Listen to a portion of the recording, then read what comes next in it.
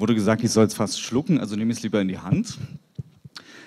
Hallo, freue mich, dass ich heute hier vor doch mittlerweile, würde man sagen, so locker 80, die gekommen sind, um diesen Marathon durchzustehen bis 9.30 Uhr. Tut uns sehr leid, dass wir das in dieser Form organisiert haben. Ähm, uns ist nichts anderes eingefallen. Nächstes Mal versprechen wir Besserung. Krise war das Stichwort. Über welche Krise reden wir? Wir versuchen seit drei Jahren dazu einen Begriff von Gramsci beziehungsweise einen Analyseblick von Gramsci auch zu nutzen, nämlich den der organischen Krise. Das heißt, das Zerfallen eines spezifischen Verhältnisses der unterschiedlichen gesellschaftlichen Verhältnisse zueinander. Also nicht nur einfach, ist es eine ökonomische Krise oder eine politische oder eine Repräsentationskrise oder sonst was, sondern das Verhältnis dieser Verhältnisse zueinander was dann eben zu einer scheinbar Fülle von unverbundenen Krisenphänomenen führt äh, auf den unterschiedlichsten Feldern. Die Krise meandert, verschiebt sich von hier nach dort und ist es wahnsinnig schwierig, sozusagen im Alltagsverstand oder auch in der medialen Berichterstattung überhaupt zu fassen, was da vor sich geht. Und genau das versucht natürlich der Begriff der organischen Krise hinzubekommen. Ähm, dass die Krise nicht gelöst ist, ist ja mittlerweile äh, völlig klar. Äh, jedem, der das irgendwie verfolgt, obwohl sie uns noch vor einem Jahr genau das Gegenteil erzählen wollten. Ähm, denn schon jedes Mal, wenn sie im Krisenmanagement versuchen, irgendwie die Krise zu bearbeiten, zu verschieben, zu verlängern, ist darin angelegt schon wieder wie die nächste Krisenkonjunktur aussieht. Es hat damit zu tun, wie sie zum Beispiel auf die Finanz- und Wirtschaftskrise reagieren, indem sie sozusagen einen massiven Bailout mit Multimilliarden sozusagen versuchen, alles zu retten. Dazu das Ganze dann äh, endet in einer massiven Staatsverschuldung, nicht nur in Europa, sondern auch in USA oder anderen Ländern, äh, die dann wiederum zu spezifischen Krisen führt. Deren Bearbeitung jetzt mit Kürzungsprogrammen, Austerity, wie es im Englischen heißt und so weiter, wieder dann zur nächsten Krise führt, nämlich einer massiven Rezession in betroffenen Ländern, zu politischen Krisen und so weiter. Ne? Also natürlich hat das Krisenmanagement dazu bewahrt bislang, dass es nicht komplett kippt, aber ähm, sie kriegen es nicht ähm, gebacken, schon weil die grundlegenden ökonomischen Ursachen der Krise nicht angegangen werden. Es gibt so zaghafte Versuche der Finanzmarktregulierung, die dann wiederum von den unterschiedlichsten Lobbygruppen, sei es in den USA oder bei uns die Bankenverbände, derart aufgeweicht werden, dass sich an den realen Größenverhältnissen dieser finanziellen Überakkumulation, die Klaus-Peter Kiska vorhin angesprochen hat, nichts verändert hat. Im Gegenteil, sie baut sich schon wieder weiter auf. Von den anderen Dimensionen der multiplen Krise wollen wir hier noch gar nicht sprechen. Die Verschärfung auch der ökologischen Krisen ist ja dabei auch noch nicht mal erwähnt, drängt sich aber dann durch Ereignisse etwa wie Fukushima, also auch da etwas sozusagen, was nicht ein Transformationsprojekt mitgedacht war, egal von wem, sagen solche Ereignisse spielen eben auch eine wichtige Rolle. Ähm, oder auch andere Katastrophen. Wir haben eine Fülle von ökologischen Katastrophen. Und dann dazu immer wieder passenden Weltgipfeln, auf denen relativ wenig passiert, aber die natürlich schon sagen, verdeutlichen auch, dass es eine zunehmende Bedeutung hat. Äh, nicht nur, weil ökologische Fragen Fragen politischer Legitimation berühren, angesichts eines doch immerhin wachsenden Umweltbewusstseins, egal sozusagen in welcher Rangfolge man das dann jeweils bewerten mag, sondern weil damit eben auch Fragen der Sicherung ökonomischer Verwertungs- und Reproduktionsbedingungen ganz eng verknüpft sind von Ressourcen, von Energiesicherheit und so weiter. Uli hatte es vorhin angesprochen. Entscheidend ist also der Zusammenhang von Krisen, der Verknüpfung der aufbrechenden Krisenerscheinungen, von den bereits genannten, aber auch die Krise der Reproduktion, die äh, Frigga oder Gabriele Winke auch immer wieder einklagen, dass das natürlich genauso mit zu bedenken ist. Die dramatische Prekarität, die auch damit eng verbunden äh, sich weiter vertieft, nicht nur in den Industrieländern, dann doch eben mit schwelenden Repräsentationskrisen verbunden sind. All diesen multiplen Erscheinungen hat der neoliberale Machtblock keine produktiven Lösungen mehr anzubieten. Produktiv in dem Sinne, dass die Interessen der Subalternen irgendwie auf eine Art und Weise eingebunden werden, dass sie diesem Projekt weiterhin aktiv zustimmen können. Schlimmer noch, der Neoliberalismus ist aus meiner Sicht erschöpft, weil also er verstärkt zwar noch seine autoritären Tendenzen, die er in den letzten zehn Jahren ja schon gepflegt hat, Aber weder ist von ihm ein neuer Akkumulationsschub, also die beklagte ökonomische Seite, äh, betone ich hier nochmal, weder ist von ihm ein neuer Akkumulationsschub zu erwarten, noch eben ein neuer gesellschaftlicher Konsens. Nichtsdestoweniger, die Neoliberalen sitzen, nicht zuletzt in Deutschland, fest im Sattel, Bomben fest im Sattel, zumindest im Moment. Sie bauen in Europa und in den USA sogar ihre institutionelle Macht aus. Also mit Gramsci gesprochen, ihre Position mag keine führende mehr sein, keine hegemoniale mehr, aber sie ist nach wie vor eine herrschende. Das ist eine Unterscheidung, die mir immer wieder sehr wichtig ist, weil zu schnell wir sozusagen in dieser Krise feststellen, ah, die Neoliberalen sind doch immer noch da, ist alles Neoliberalismus und da bricht ja gar nicht wirklich was um, obwohl dauernd Krise ist. Es ist ein Unterschied, ob wir von Herrschaft, für den Kapitalismus auch durchaus funktionierend übrigens, oder von Hegemonie in einem umfassenderen Sinne sprechen. Ähm, aber darauf, darauf kommen wir gleich nochmal. Die Folge wäre, dass sich etwas wie eine Zeit des Interregnums ähm, eine Zeit des Interregnums, eine Übergangsperiode äh, ansteht, in der die Krise über eine längere Zeit, vielleicht ein Jahrzehnt oder länger, sich hinziehen kann, bis aus der Konkurrenz von unterschiedlich starken Beharrungs- und auch Erneuerungstendenzen sich dann etwas wie eine hegemoniale Richtung neu herauskristallisiert. Die Kämpfe um die Neuzusammensetzung und die Führung im Machtblock sind im vollen Gange, würde ich sagen. Dabei hat sich die gesellschaftliche Situation seit Ausbruch der Finanz- und Wirtschaftskrise 2007 äh, verändert. Einige der von uns 2008, 2000, ja, 2008 angenommenen, für möglich gehaltenen Szenarien und Trends, etwa eines sozialdemokratischen Public New Deal unter Obama, haben sich nicht realisiert, beziehungsweise die Einschätzung war gar nicht so falsch, dass sie zu schwach, als zu schwach eingeschätzt wurden. Überraschend war für viele, wie erfolgreich zum Beispiel auch das Krisenmanagement in Deutschland doch wirkte. Damit hat sich die Situation ein Stück weit auch geschlossen. Der Handlungsspielraum für bestimmte Projekte wurde eingeschränkt. Offen bleibt allerdings, inwiefern die Krise wieder mögliche äh, Möglichkeitsräume aufreißt. Im Folgenden daher der Blick auf vier im Entstehen begriffene konkurrierende strategische Projekte, nenne ich das mal. Das sind nicht etwa Szenarien, wie das aussehen könnte, sondern das ist der Versuch der Bestimmung empirischer Tendenzen, die jetzt schon vorfindbar sind. Leider ist ähm, wahrscheinlich ähm, kaum Zeit, alle vier auszuführen, aber mm, ich will es versuchen. Gestriffen werden soll dabei vor allem, was sind die wesentlichen politischen Momente auf, mit Blick auf Bearbeitung der organischen Krise, also mit besonderem Blick dabei auf die ökologische Krise. Zweitens, wer sind die gesellschaftlichen Kräfte oder Träger solcher Projekte? Welche Koalitionen gruppieren sich darum? Drittens, welches sind aber auch die jeweiligen sozioökologischen Konsequenzen? Welches sind die ökonomischen Widersprüche oder politischen Implikationen, die sich daraus ergeben? Die Projekte sind relativ klar voneinander zu unterscheiden. Allerdings ist leicht erkennbar dann im Folgenden, dass sich zwischen den Projekten Überschneidungen ergeben die mögliche Koalition eben auch jenseits der Projekte ermöglichen, die wiederum dann ganz andere Widersprüche mit sich brächten, aber das ist dann eine andere Diskussion. Dabei finde ich, muss man darauf achten, dass man die Projekte nicht einfach konkreten Kräften zuordnen kann, sondern es geht immer um konkrete Kräftekonstellationen dabei.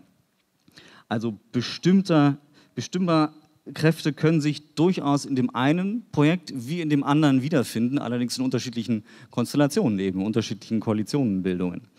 Das heißt, es geht mir um die Verdichtung von Kräften und nicht um sowas wie Blaupausen einer Transition, wie äh, Uli das aufgeworfen hat. Also nicht, dass irgendeine Expertengruppe sich zusammensetzt und da sich mal ausdenkt, was die Green Economy ist, sondern sozusagen wie in der Realität sich solche Projekte unterschiedlicher Gruppen reartikulieren und vielleicht zu einem solchen Projekt verdichten. Das hat was mit einem Verständnis von Transformation zu tun, wie Rolf es vorhin auch ein bisschen angerissen hat, wie wir es auch eigentlich schon ähm, aus Richtung einer regulationstheoretisch gramscianischen Transformationsdebatte kennen, dass es nämlich natürlich sowas wie strategische Subjekte oder Projekte gibt in Transformationsprojekten, aber dass es eben kein steuerndes Subjekt gibt. Es gibt kein Zentrum einer solchen Transformation, aber das heißt nicht, dass solche strategischen Projekte nicht permanent äh, versucht werden, äh, in Szene zu setzen. Und selbstverständlich bewegen sich diese sich nicht im luftleeren Raum, sondern vor dem Hintergrund konkreter Kräfteverhältnisse, von Kämpfen, von gesellschaftlichen Entwicklungen. Insofern muss man dann auch bei solchen Szenarien eine Aussage darüber treffen, wie wahrscheinlich das jeweilige Projekt ist. Das wiederum hat was damit zu tun, auch wie für wie erneuerungsfähig man, egal wie man den Kapitalismus jetzt findet, es geht ja nicht um eine normative Einschätzung, finden wir das doof oder wollen wir lieber was ganz anderes, sondern wie erneuerungsfähig schätzen wir kapitalistische ähm, Entwicklung ein. Deswegen sprechen wir am Institut manchmal von einer anderen Art doppelten Transformation, als Rolf sie meinte, nämlich, wie sie im Titel ja auch steht, ähm, also nicht diesem Titel, sondern dem der Tagung, innerhalb des Kapitalismus und darüber hinaus. Das heißt, ganz wichtig ist, wenn man so Szenarien oder Projekte entwirft, unter welchen Bedingungen macht man das eigentlich, um zu einer realistischen Einschätzung zu kommen.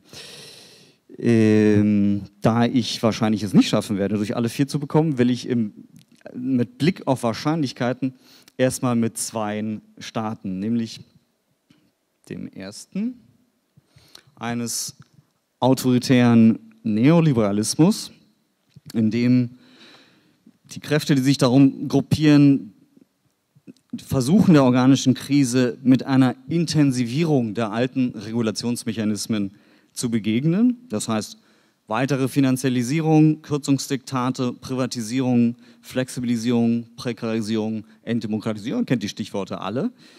Ähm, das war auch übrigens in anderen großen Krisen nicht so viel anders. Insbesondere ist es gelungen, fast weltweit eine austeritätspolitische Wende zu vollziehen. In Europa setzen Finanzmärkte, IWF und nicht zuletzt die Regierung Merkel zusammen mit einigen anderen exportorientierten kleinen Ländern äh, gleichgerichtet auf eine Radikalisierung austeritätspolitischer Deutsch Kürzungsmaßnahmen und setzen deren Institutionalisierung durch. Das der sogenannte Euro-Plus-Pakt und alles, was sozusagen um jetzt Griechenland-Rettung und so weiter diskutiert wird. Mit dieser institutionellen Blockade, die einmal errichtet, an der man ja nicht mehr so einfach mal vorbeikommt, ähnlich wie vorher schon der Maastricht- und Stabilitätspakt, ähm, und unter den veränderten Kräfteverhältnissen werden die Möglichkeiten dann für andere Optionen eingeschränkt. Freilich, ohne dass im Moment es den Neoliberalen gelingt, die Krise zu bändigen. Nur ganz kurzer Ritt durch ähm, sagen die äh, Elemente eines, also auch natürlich alles extrem vereinfacht, hat Uli jetzt schon angedeutet, aber geht ja nicht anders, äh, was so Elemente sind. Austerity habe ich schon genannt zaghafte neue Reregulierungen durchaus, aber ähm, keine wesentlichen Veränderungen bislang. Dafür umso mehr symbolische Politiken, etwa auch auf ökologischer Ebene. Ähm, freiwillige Arrangements, immer noch der Versuch, ähm, da wo Regulierung nicht durchsetzbar scheint oder nicht gewollt ist, über freiwillige Vereinbarungen, Codes of Conduct mit Unternehmen und so weiter, doch etwas zu erreichen. Eine Fixierung stark auf da, wo es geht, neue Technologien, Techno-Fixes im Englischen, wie eben solche CCS, also Kohlendioxidverpressung in der Erde oder so große neue Solarprojekte in der Wüste wie Desertec, aber auch sowas, was unter dem Stichwort Fossil ähm, Extreme Energy, also jetzt da wo die Ölpreise steigen, auch die aus dem hintersten Winkel ähm, Ölreserven, die nicht profitabel waren vorher, Ölsande, tiefen, tief, tief, Tiefseebohrungen in der See oder ähnliches Meer, jetzt doch zu fördern. Solche Geschichten und natürlich die altbekannten Marktformen der Regulierung wie Zertifikate, aber auch GATS, TRIPS und so weiter. Natürlich nicht weiter verwunderlich, wem erzähle ich das hier, einem äh, informierten Publikum, keine Infragestellung der fossilistischen Produktionsweise und dem, was Uli die imperiale Lebensweise genannt hat. Die Kräfte, die dahinter stehen, sind mehr oder weniger die altbekannten bislang, äh, besonders gestützt durch fin finanzielle und fossilistische Kapitalgruppen, also Auto, Energiekonzerne und ähnliches mehr, äh, die nach wie vor eben etwas wie einen passiven Konsens halten können, nicht zuletzt durch eine massive Desintegration in der Gesellschaft schon der letzten Jahre, jetzt sozusagen nochmal durch die schwere Lesbarkeit dieser Krise und doch ja immer wieder einem Aktionismus, einem politischen und einer Dramatik. Ich meine, die FAZ ist diejenige, die permanent davon spricht, dass der Kapitalismus zusammenbricht, nicht unbedingt die Linken ähm, sozusagen, wo, wo, sozusagen die Angststarre schon äh, sichtbar ist bei den Leuten und insbesondere in Deutschland ja man auch merkt, wie wenig sozusagen, wie abwartend dann auch die Haltung ist, anders als in den Ländern, wo es schon gar nicht mehr geht, wo es halt aufbricht.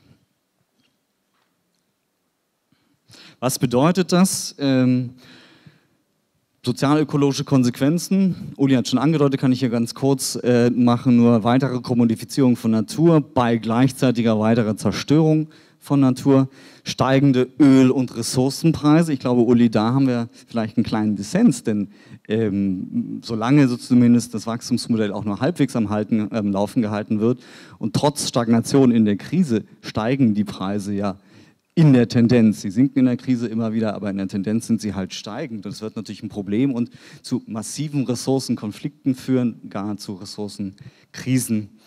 Äh, man wird sehen. Was bedeutet das ökonomisch, auch mit Blick auf Deutschland? Da kann man drei verschiedene Szenarien jetzt doch vielleicht erwarten, ganz aktuell. Möglich ist, dass die globale Nachfrage trotz Rückgang keinen so tiefen Einbruch erleidet. In diesem Fall könnten die deutschen Exporterfolge auf kleinerer Flamme weiterhin sowas wie ein Mini-Wachstum gewährleisten. Ist zumindest auch das, was ähm, viele Wirtschaftsforschungsinstitute immer wieder äh, trotz ihrer äh, ja eigentlich schlechten Prognosen. Die Prognosen haben eine geringere Trefferwahrscheinlichkeit als die Wettervorhersagen. Ähm, sie müssen sie dauernd korrigieren. Aber das ist sozusagen das, was Sie im Moment sagen angesichts der Krise, äh, ein Mini-Wachstum ähm, ohne dass dann ein Wechsel des Modells nötig werden wieder. Getrieben von Akzeptanzverlusten oder ebenso Ereignissen wie Fukushima gibt es darin auch kleine graduelle Änderungen Richtung Energiewende zum Beispiel.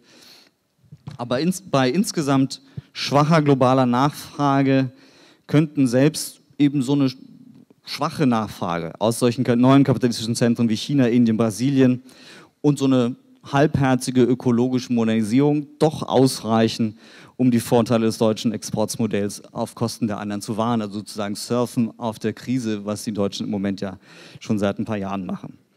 Gerade die Schwäche der Eurozone kann da durchaus durch die relative Unterbewertung des Euro zu einem Vorteil sein gegenüber anderen Konkurrenten. In den USA wiederum scheinen selbst moderate Veränderungen einer wie auch immer gearteten ökologischen Modernisierung zurzeit verbaut. Zumindest wird der Kampf von rechts unglaublich scharf geführt. Vorstellung von jetzt doch höheren Steuern oder neuen Konjunkturprogrammen bringt Obama erst in dem Moment, wo er die Mehrheiten verloren hat dafür. Ähm, in der Debatte um Kürzungspolitiken werden sämtliche ökologischen Reformen und Förderprogramme von den Rechten, insbesondere der Tea Party, als Jobkiller diffamiert. Zugleich ist die ökonomische Situation so dramatisch in den USA, dass ähm, also sehr viel schwieriger sein wird, da aus Krisen hinauszubekommen. Zweites Szenario, denkbar ist, dass die Konjunktur stagniert. Der Trend dazu ist ja schon lange in diese Richtung bei zehn Minuten. Ich bin noch beim ersten Szenario, okay. Ähm, stagniert was extrem starke Verteilungskonflikte um Steuern, Sozialleistungen, Löhne und Arbeitsstandards natürlich auch um ökologische Maßnahmen mit sich bringen würde. Das wäre eher so etwas wie ein Szenario des Postwachstums aller konservativer Art, wie Meinhard Miegel es beschreibt. Ähm, also auf jeden Fall kein emanzipatives. Relativ wahrscheinlich halten wir aber ein drittes, nämlich einen angesichts der vielfältigen Ungleichgewichte erneuten tiefen Finanz- und Wirtschaftscrashes. Wir erleben es ja zurzeit auf allen Titelseiten. Das ist durchaus entsprechend der Transformationsprozesse vorangegangener großer Krisen, die immer in einer Reihe von Brüchen und Krisenverläufen ähm, gekennzeichnet waren, als auch eben von solchen Ereignissen wie jetzt beispielsweise Fukushima als Katalysator einer jähen Wendung hin zu Energiewende geführt hat, wissen wir natürlich nicht, was eine solche tiefe Finanz- und Wirtschaftskrise, wie das die politischen Verhältnisse nochmal durcheinanderwirbeln würde. Das zweite Projekt wäre ein grüner Kapitalismus. Uli hat es genannt, deswegen kann ich das auch nochmal kürzer machen. in der Tat als eine Art passive Revolution. Das ist nicht einfach Restauration, sondern eben die Entwicklung bürgerlicher Herrschaft, wenn man so will, äh, die Gesellschaft vorantreibend. Das passive Element darin ist, dass die Subalternen zwar integriert werden, aber eben in einer untergeordneten Position, während ihre Intellektuellen oder Führungsgruppen sagen in den Machtblock integriert werden und, wie Gramsci es nannte, damit die Bewegungen geköpft. Der schillernde Begriff einer Green Economy, Uli hat es genannt, äh, ist da natürlich einer, der versucht, ähm, nicht nur auf ein Krisenphänomen, sondern unterschiedlich die ökonomische Krise mit der ökologischen, mit der Jobkrise und so weiter zu verbinden und deswegen ähm, nicht nur sowas wie eine Perspektive für neue Akkumulationsprojekte, sondern auch für sowas wie einen gesellschaftlichen Konsens produziert. Äh, insbesondere seit die Unternehmen durch, aufgeschreckt durch Stern Report, IPCC-Berichte und ähnliches mehr, da etwas offener sind. Äh, sprechen Sie diese sozusagen marktwirtschaftliche Orientierung auf einen neuen Konsens, vor allem ökologisch sensibilisierte, äh, eben marktwirtschaftlich orientierte liberale Gruppen an, die auch über eine starke Repräsentation im öffentlichen Raum verfügen und eher skeptisch gegenüber dem Finanzmarktkapitalismus, wie wir ihn kennen, sind. Das ist, glaube ich, im Moment die mächtigste Antwort auf die gegenwärtige Krise und auf die Versuche eines autoritären Neoliberalismus irgendwie noch über die Runden zu kommen. Auch da weiß ich nicht ganz, ob ähm, ich Ulis Einschätzung teile oder ob ich sie einfach nicht so ganz verstanden habe. Ich glaube, das ist ein wirkmächtiges Projekt, aber so hast du es, glaube ich, auch dargestellt, die Transformation zum grünen Kapitalismus ähm, findet bereits statt will jetzt gar nicht sagen, welche Kapitalgruppen alles dahinter stehen und welche Multibillionen-Dollar-Markt sich da auftut, der jetzt schon vorhanden ist. Es gibt viele Kontinuitäten auch zum Neoliberalismus. Äh, auch da hat Uli ein paar gestreift. Die Intensivierung weiterer sozusagen extraktivistischer Praktiken der Akkumulation durch Enteignung und ähnliches mehr. Auch die Geschichten über Zertifikate und Emissionshandel oder auch die noch stärkere Inwertsetzung und Externalisierung gleichzeitig von Reproduktionsarbeiten. All diese Dinge ähm, sind durchaus ähnlich.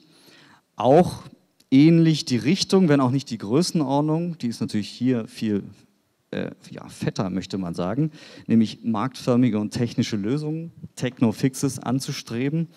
Hier soll sozusagen nicht nur ein bisschen nachgearbeitet werden, wie die Neoliberalen es äh, sich so vorstellen, sondern wie die IT-Revolution die technische Basis für die Globalisierung war, soll die Green Tech-Welle die Grundlage für einen kompletten ökologischen Umbau der Produktionsweise liefern. Aber, der jetzt da der Unterschied, dafür braucht es eines klaren und bindenden ökologischen Regulierung, zwar möglichst marktförmig, aber die muss halt gesichert sein, um Investitionssicherheit zu gewährleisten und gar neue Anlagssphären zu eröffnen. Ein so weitgehender Umbau wird allein durch die Marktkräfte nicht zu bewerkstelligen sein, sodass auch Kapitalgruppen wie etwa große Energieversorger wie E.ON öffentliche Investitionen fordern, um die Energie- und Verkehrsinfrastrukturen überhaupt erstmal zu schaffen. Auch eine begrenzt höhere Besteuerung von Vermögen und Reregulierung der Finanzmärkte wird durchaus befürwortet, um eben die nötigen Mittel für Investitionen zu erwirtschaften und auch um ökologische, ökonomische Ungleichgewichte zu dämpfen. An eine direkte Umverteilung von oben nach unten ist dabei natürlich nicht gedacht. Ähm, sozial-ökologische Ungleichheiten werden nicht thematisiert, auf die individuelle Ebene verschoben und auch sozusagen die Probleme in der Reproduktion werden nur am Rande gestriffen. Auch da gibt es natürlich jede Menge Widersprüche in diesem Projekt. Das ist also auch kein glattes, äh, die spare ich mir aber, die kann man sich durchaus mitdenken. Nämlich zum Beispiel die ökologische Krise wird viel zu schwach angegangen, es dauert viel zu lange. Die wirkliche Herausforderung der Reduzierung von Treibhausgasemissionen ist da gar nicht wirklich äh, mit eingedacht.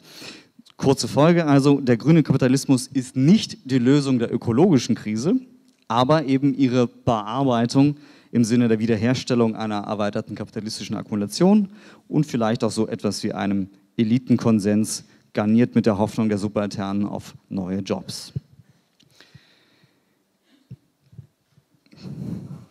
kann man nicht mehr lesen. Ne? Nur mal ein Eindruck sozusagen, was die vier wären. Ich habe übrigens draußen die Folien ausliegen, ihr könnt sie also mitnehmen und alles nachlesen und natürlich wird es auch einen Text dazu geben.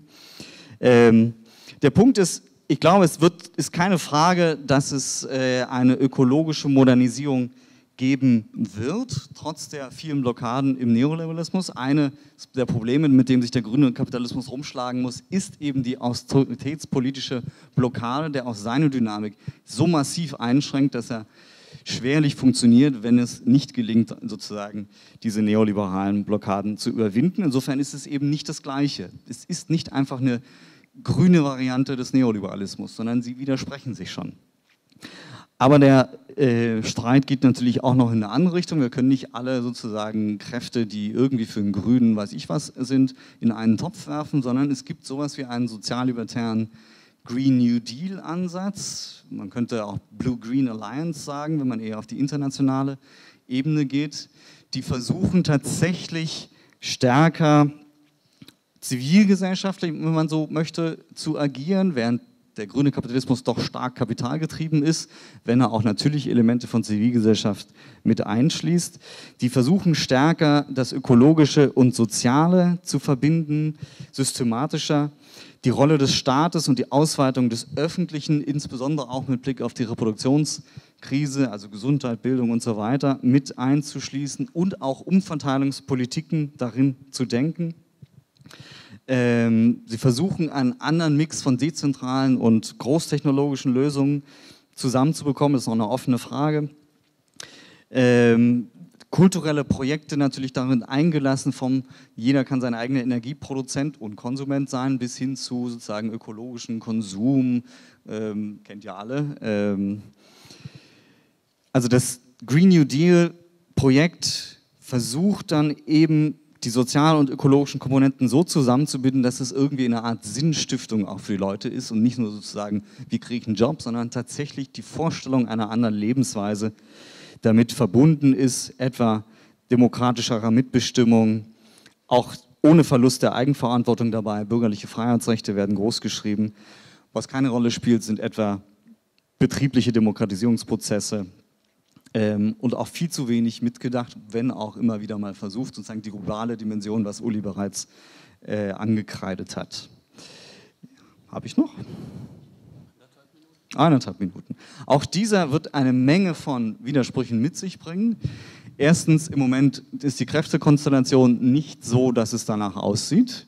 Ähm, die autoritätspolitischen Blockaden habe ich schon erwähnt sagen, die ökologische Modernisierung wird eher kapitalgetrieben sein im Moment. Die Stärkekräfte sind super stark in diese Richtung. Und auch in Deutschland sieht man ja gerade, wie schwach ein rot-grünes Projekt denn aufgestellt ist. Ähm, in der Tat gibt es viele Spielereien, sozusagen grün-schwarz oder ähnliches, äh, immer wieder, gern von Kapitalseite auch unterstützt. Ähm, es gibt immer wieder die Debatte, eine Minute schaffe ich, die Debatte, ähm, dass sich im Green New Deal Prozess immer Soziales und Ökologisches zwar zusammengedacht werden soll, aber wenn es hart auf hart kommt, dann doch immer die eine Seite gegen die andere ausgespielt wird, weil man auch nicht konsequent durchdiskutiert, ähm, wer zum Beispiel die Verlierer eines solchen Prozesses ist. Uli hat es schon angedeutet, es wird immer von Win-Win-Win-Win-Situationen gesprochen, das ist Quatsch.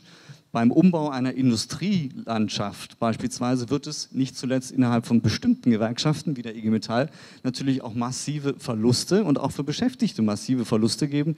Und da wird selten darüber gesprochen, wie die denn eigentlich aufgefangen werden. Ja, natürlich, wir machen ganz viele neue Jobs in ökologischen Industrien. Ja, die sind aber zum Beispiel nicht gewerkschaftlich organisiert.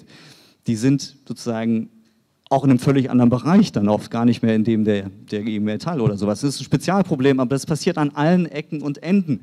Höhere Preise für bestimmte Güter sozusagen, damit da eine Lenkungsfunktion eingezogen wird, treffen natürlich immer die sozialen Schwächsten und ähnliches mehr. Die Rettungsformen, wie sie bislang gedacht werden, sind da äh, nicht ausreichend.